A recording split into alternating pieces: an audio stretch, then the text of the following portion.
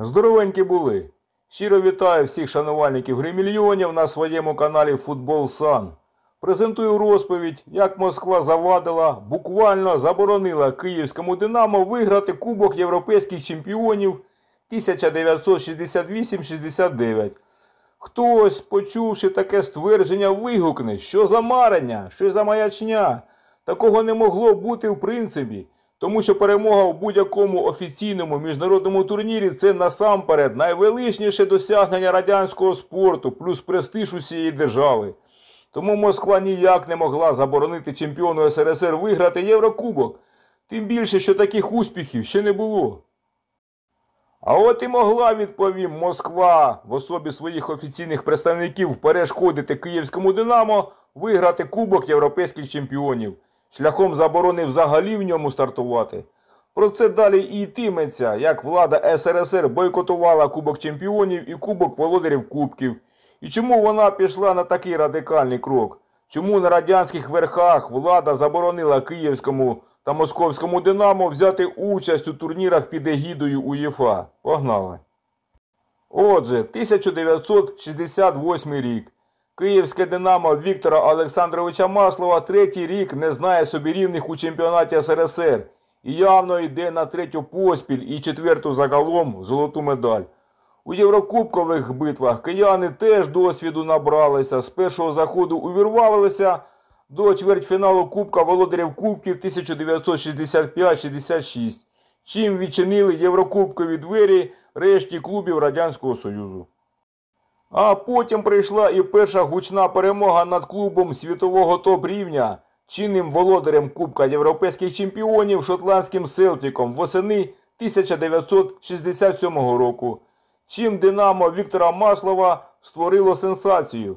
Щоправда, потім так само зненацька пролетіли польському гурніку, але невдалий досвід теж досвід. І якраз через рік киянам представилася чудова можливість взяти реванш у польського чемпіона руху схожого. Хоча спочатку після жеребкування Кубка Чемпіонів 1968-69 у суперники динамівцям випав швейцарський Цюріх, з яким українська команда мала зіграти 18 вересня у гостях та 2 жовтня у Києві.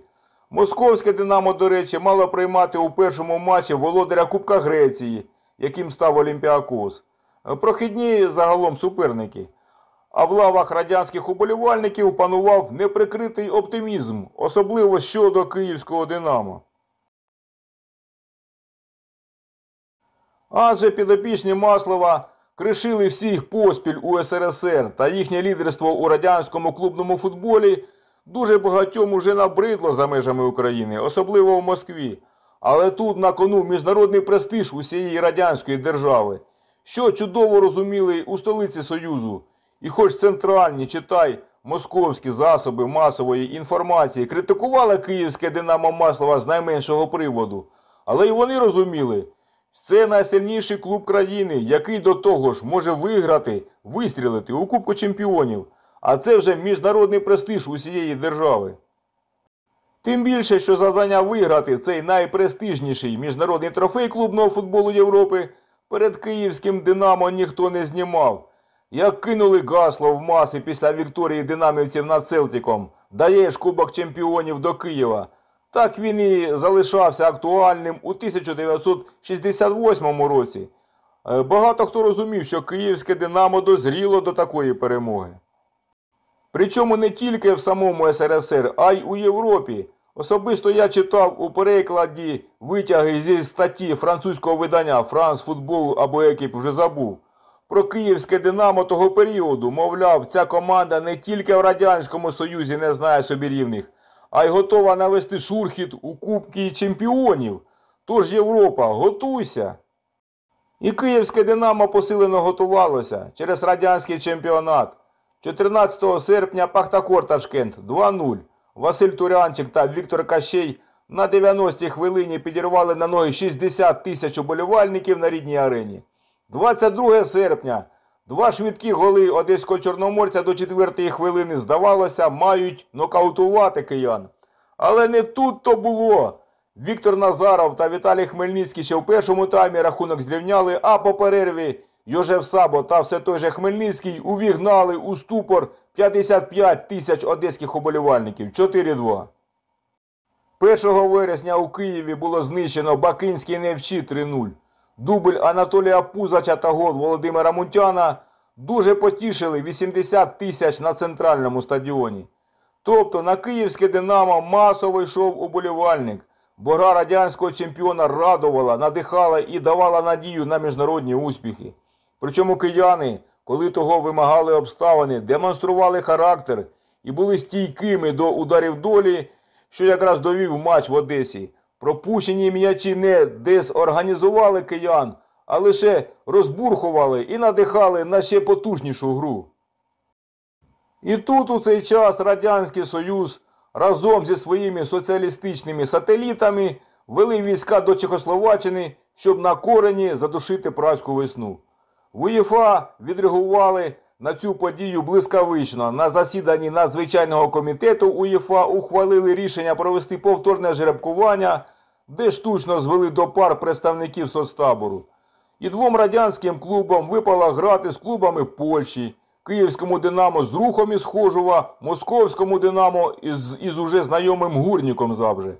Оце були битви, скажу я вам. Всім битвам битви з політичним підтекстом та прагненням до реваншу.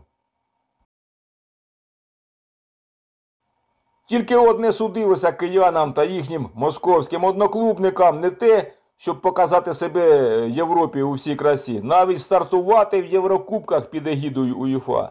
Тому що радянська влада не дозволила. Спочатку Федерація футболу СРСР подала рішучий протест з вимогою скасувати рішення надзвичайного комітету УЄФА та проведення Кубка Чемпіонів і Кубка Кубків відповідно до раніше проведеного жеребкування. Інакше СРСР погрожував подати протест до вищої інстанції ФІФА. Далі процитую тижневик футбол, витримки з пояснень радянському народу, чому сталося таке неподобство. Деяким членам комітету на чолі з президентом УЄФА, великим фабрикантом Відеркером, не сподобалося, що уряди СРСР, Польщі, Угорщини, Болгарії та НДР прийшли на допомогу народу Чехословаччини в його боротьбі з контрреволюцією. І відразу ж були забуті всі статути і правила. І залишилося лише одне бажання, хоч якось уразити футболістів цих країн. Спортивні організації, у тому числі футбольні, засновані на принципі заперечення будь-якої дискримінації релігійної, расової чи політичної. Ті, хто відкидає цей принцип, не просто вставляє ціпки в колеса, а по суті справи зводять на нівець благородний сенс спортивного руху, покликаного об'єднувати та зближувати народи. Свої рішучі протести направили на адресу УЄФА Національні Федерації футболу Болгарії, Угорщини, Польщі. Генеральний секретар УЄФА Бангертер повідомив кореспонденту ТАРС, що у понеділок, 9 вересня, відбудеться спеціальне пленарне засідання УЄФА для розгляду протестів. Здоровий глузд і справедливість вимагають засудження та скасування підтасовки, проведеної 30 серпня. Кінець цитати.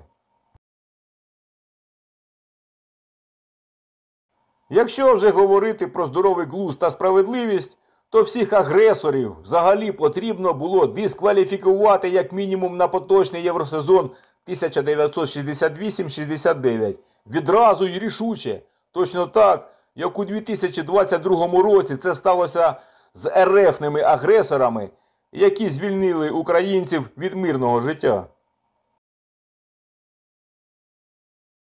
Але в УЄФА тоді вчинили мудро, заздалегідь прорахувавши дії Москви та її підлеглих, під час повторного жеребкування звели у пари соцкраїни. І одразу стало зрозуміло, хто є хто. Ті, хто жив за наказами з Московського Кремля, разом із радянськими господарями, самі бойкотували Єврокубки, а Югославія, Румунія та Чехословаччина залишилися. Уявляю собі, з яким почуттям стежили за просуванням Кубком чемпіонів Тернавського Спартака київські динамівці. Адже вони могли дістатися набагато вище півфіналу, як це зробив найсильніший клуб Чехословаччини. Команда Віктора Маслова на той час була здатна виграти найпрестижніший клубний турнір Старого світу. Якби не рішення Москви бойкотувати євротурніри під егідою УЄФА. Таким чином, Москва в наказовому порядку заборонила київському Динамо виграти Кубок європейських чемпіонів. Втім, і московське Динамо могло чудово пошуміти у Кубку володарів Кубків, який сенсаційно виграв Братиславський Слован із Чехословаччини. У фіналі було переможено Барселону 3-2. І це був найвдаліший євросезон для клубів Чехословаччини за всю її історію. Але могли Єврокубки 1968-69 стати найуспішнішими для Радянського Союзу. Для цього були всі передумови. Не вторгнись Совєти в ЧССР чи хоча б не бойкотуй клубні євротурніри. Але сталося те, що сталося. І Кубок європейських чемпіонів восени 1968 року вже перед стартом через політичні інтриги Москви або УЄФА вирішувати вам, гості мого каналу Футбол Сан, втратив одного з головних своїх фаворитів Київське Динамо, чий зірковий час е, настане 7 років по тому. Вболіваємо за наші команди. Всім нам, українцям, мужності, твердості духу та терпіння. З вами був Санич. Зустрінемось.